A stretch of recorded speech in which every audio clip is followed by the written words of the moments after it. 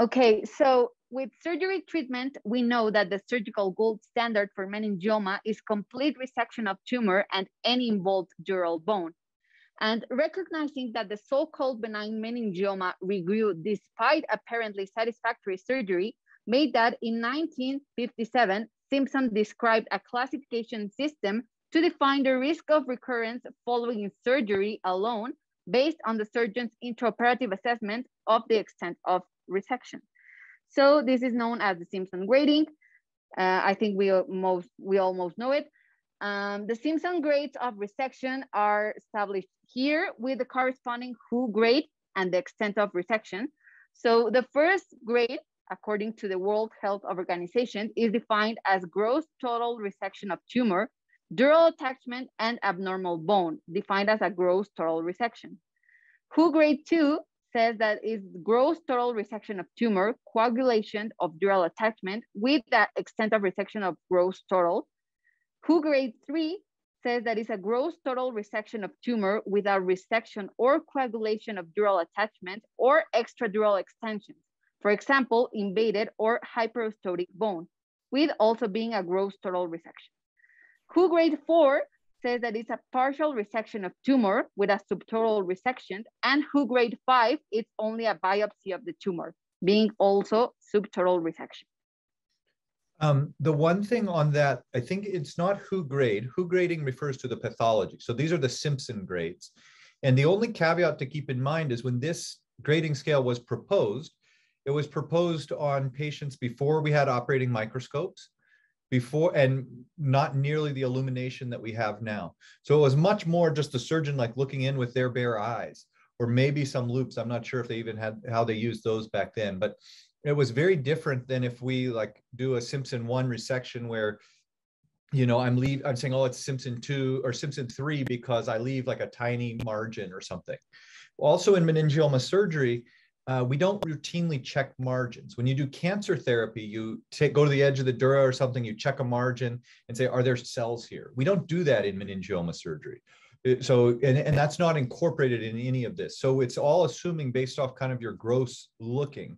And some of these, this gets debated over the years because um, people don't know because we just don't know. It's like, well, I left a little bit there or not, and we never checked it with pathology. We didn't send margins. So there is some ambiguity in this.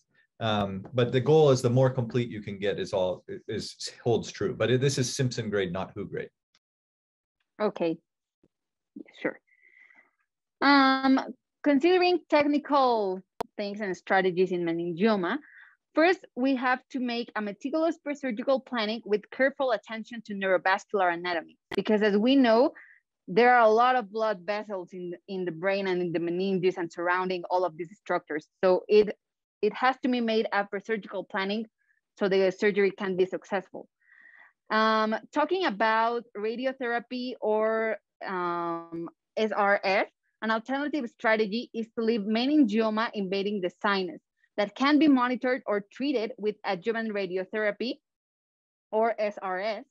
And talking about image gating, um, we know that the use of intraoperative MRI and CT um, can be used to update neuronavigation and identify residual tumor.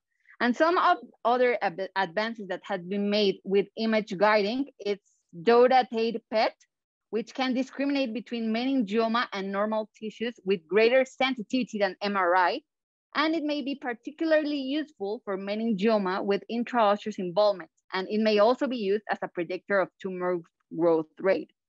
And also an intraoperative imaging can be used for emerging approaches such as adapt adaptive hybrid surgery whereby the surgeon plans to leave a small, deemed unresectable residual that can be treated with postoperative SRS. And finally, for recurrent meningioma, we know that in, patient, in patients in this situation, the surgical challenges are compounded, are compounded by scar tissue, and also the underlying brain is more friable and susceptible to injury. So the indications for further surgery in, including symptomatic meningioma growth and reduction of the tumor to leave a smaller target for postoperative radiation. Uh, Anna, sorry to interrupt. I just had a question for Dr. Magill. Um, yeah, sure. So, Dr. Magill, when it comes to, um, I guess, neuronavigation with meningiomas, um, you know, I, uh, when do you typically use neuronavigation in meningioma uh, resection? Would it would you use it for like a meningioma that's located perhaps maybe on the frontal lobe versus something that's more on the base of the brain? I, so just cost is not a consideration in where I'm practicing just because we have an international audience. I know that changes, but I use it every case because I want to tailor my craniotomy. I want to take, even if it's just a convexity meningioma, I can tailor exactly what I want, put things right on it. I think it's a, a great help and adjunct. Just otherwise, you don't have to do quite as big. You know, you know right where the edge of the sagittal sinus is. You can avoid complications. So I use imaging for every case. Thank you.